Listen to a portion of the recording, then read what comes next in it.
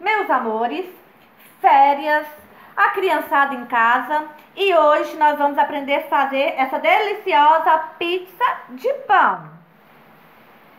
E para essa receitinha eu estou usando o pão baguete.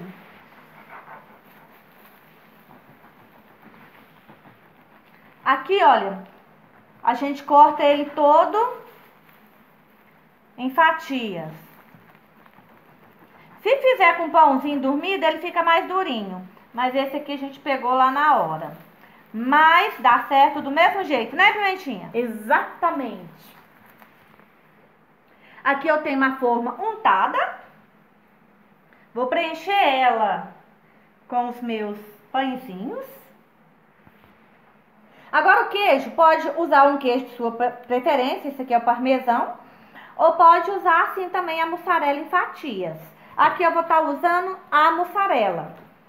E podemos usar também o presunto, que fica uma delícia. Aqui eu venho por cima com uma caminha de presunto. Eu cortei eles assim em fatiazinha, ó. Eu vou colocar em todos os pãezinhos. E por cima eu venho com a mussarela também cortada em fatiazinha.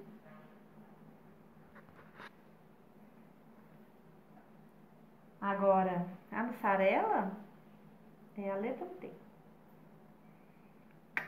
Bom demais, né, Pimentinha? Capricha. No capricho, gente. Isso aqui, as criançadas de férias no lanchinho da tarde. A gente tá inventando umas coisas diferentes, né, Mami Chef? Tem? Não tem, Pimentinha? Sim, uma... e a gente que gosta de fazer pizza em umas hum, maneiras diferentes. Bom demais. Aqui, olha, eu venho com uns tomatinhos aqui por cima. Se tiver alguém que não gosta, deixa alguns sem. Pode deixar só com presunto e mussarela só. Fica gostoso também. Mas aqui, ó, além da cor ficar bonito, pra criançada. Os adultos também, né, Pimentinha? É, tudo. Convenhamos, né? É. Bom demais. Uma maneira de fazer crianças comerem tomate. Isso.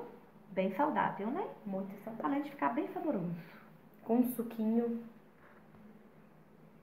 E aqui, eu também gosto muito, é o pimentão vermelho, picado bem pequenininho também por cima.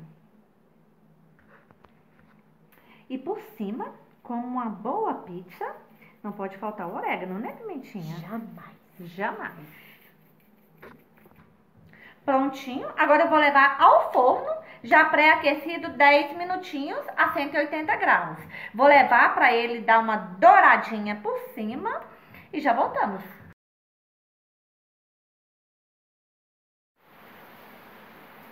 Pronto, já assou.